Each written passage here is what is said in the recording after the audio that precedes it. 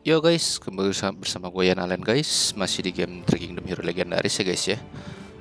Nah, seperti biasa guys Sebelum video ini dimulai Gue minta tolong untuk subscribe, like, sama komen ya guys Biar gue makin semangat bikin videonya Dan orang gak ketinggalan info-info menarik seputar game ini guys. Nah, di video kali ini gue mau ngebahas tentang uh, Adik kakak nih guys ya. Yang lebih efektif, yang lebih bagus tuh yang mana gitu guys ya ini iya. Nah antara si Zugeliang sama si Zugejin nih guys. Yang hero yang baru belum ternongol hari ini guys ya. Kita mulai dulu dari kakaknya nih guys ya. Si Zugeliang nih yang kita udah tahu dia memang benar-benar hero support GR juga guys ya. Nah skillnya dia ini lebih ke arah universal guys ya. Jadi meningkatkan attack hero nggak bukan yang negara gitu guys ya. Attack hero temen defense pokoknya rage bener dia tuh buffer banget terus juga anti stun anti silence tapi untuk diri sendiri doang nih. Yang ini mengurangi rage musuh intinya sama yang ini ngurangin attack musuh defense musuh sama ngurangin rage yang musuh tipenya skill ya guys ya tipe skill. Sedangkan kalau adiknya itu guys ini lebih ke arah uh, negara ya guys ya. Jadi kita lihat dulu dari skill ulti yang terakhirnya nih pasifnya itu ningkatin anti silence hero wu teman. Jadi semua hero wu teman kita nih kalau di line up naik naik 6% sama damage reflectionnya sebesar 3% guys. Jadi ini lumayan banget ya kalau lu gabungin sama si Sun Quan guys ya. Nah, ini makin dinaikin juga levelnya kan pasti lebih naik lagi guys ya uh, damage reflection sama uh, eh, anti silence-nya seharusnya guys ya. Nah, lalu di skill pasif yang ke duanya juga ada ketika musuh hero dari pihak mana pun antar musuh atau kita terbunuh nih nah dia langsung otomatis tingkatin damage reduction buat dirinya dia sendiri 40% tapi nggak bisa di stuck tap juga cuma satu ronde ya guys ya. Sama attack sama defense sebesar 5% untuk diri dia sendiri juga. Terus yang first aid ini 45% change memberikan 160% damage pada target dan meningkatkan damage reduction sebesar 35% untuk teman yang HP-nya paling rendah. Jadi untuk bikin HP teman kita yang paling rendah tuh survive lah intinya guys. Nah ultinya itu Nah kalau si Zugel yang itu kan tadi memberikan damage ke semua musuh guys ya ke semua musuh ya. Nah kalau dia ini cuman memberikan damage ke musuh yang di baris depan doang. Jadi tiga di baris depan doang dan mengurangi attack musuhnya sebesar 15% selama dua ronde.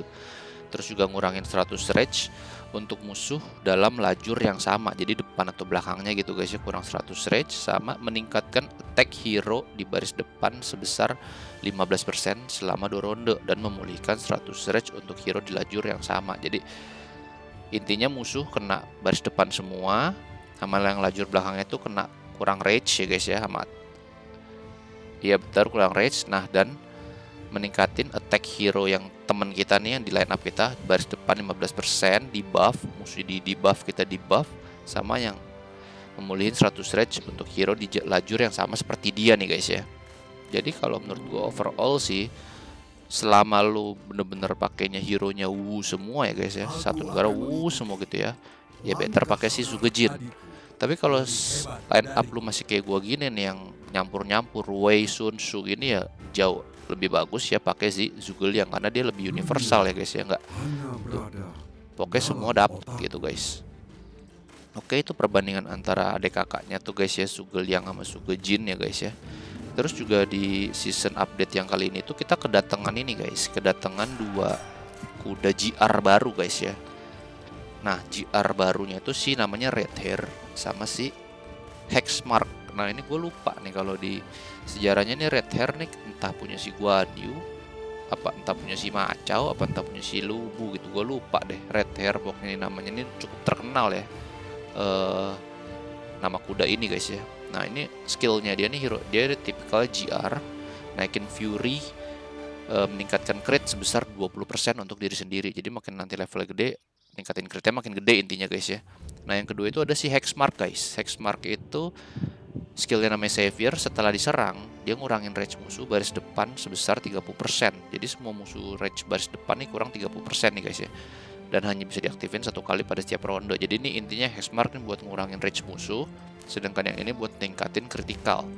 Nah Red Hair ini paling cocok dipakai ke siapa sih? Kalau menurut opini gue nih guys ya itu paling cocok dipakai ke hero juga yang ada kritikalnya seperti si Zhang Liao ini guys nih. Semakin tinggi HP-nya dia kan kritikalnya naik nih. Nah ntar ditambah itu ya jadi lebih GG gitu guys ya. Lebih GG kritikalnya. Nah gue nggak tahu sih perhitungan kritikal itu dua kali lipatnya attack damage biasa atau satu setengah kali atau berapa gue nggak tahu. Ya mungkin kalau lu orang tahu lu bisa tulis di kolom komentar di bawah guys ya. Lalu kalau untuk yang ngurangin rage ya untuk bisa siapa aja sih? Yang intinya kan untuk ngurangin rage gitu ya guys ya lalu kemarin itu gue dapet ini guys. Gue dapet kuda ya iseng-iseng gacha tuh yang gratisan. Dapet si tiger.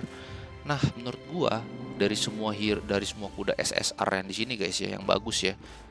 Di sini ada si Pyroblast ada si yang lain-lain ini ya.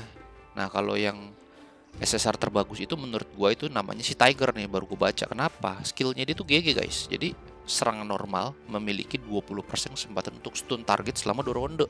Ini sih stun itu tuh guna banget guys ya. Itu benar guna banget. Lebih guna daripada silence karena benar-benar musuhnya nggak bisa gerak nggak bisa ngapa-ngapain ya. Jadi ini bagus banget sih guys ya.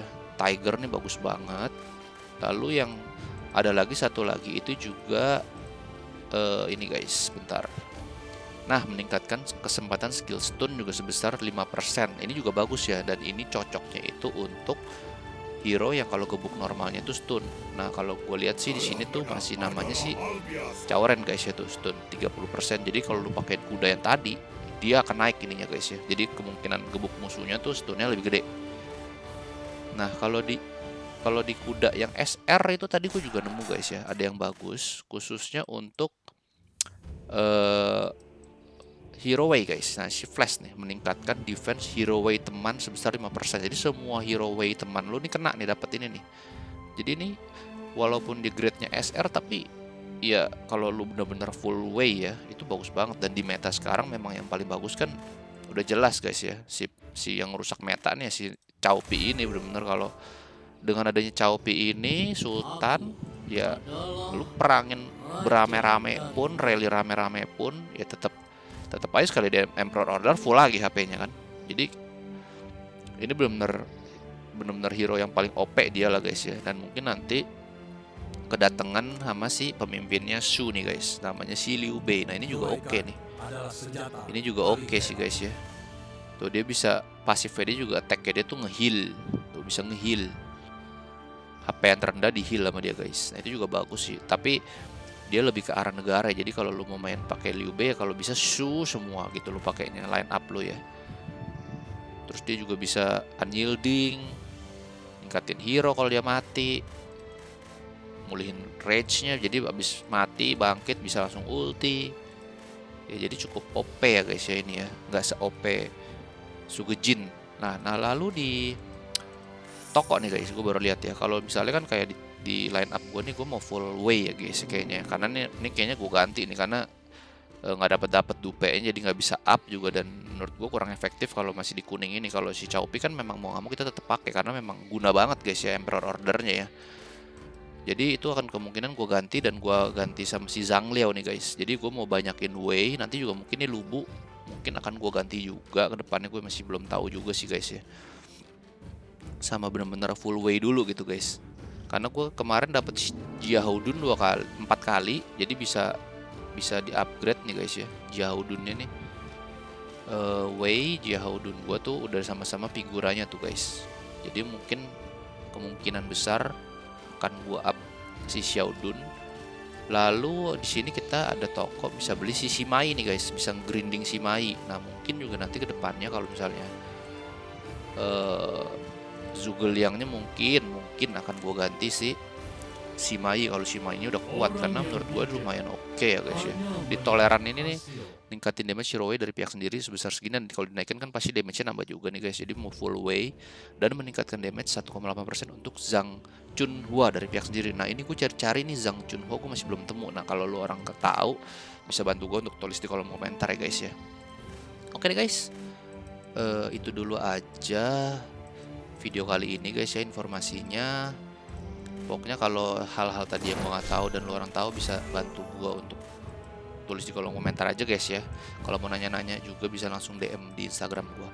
Oke deh guys, thank you for watching and see you to the next video. Bye bye.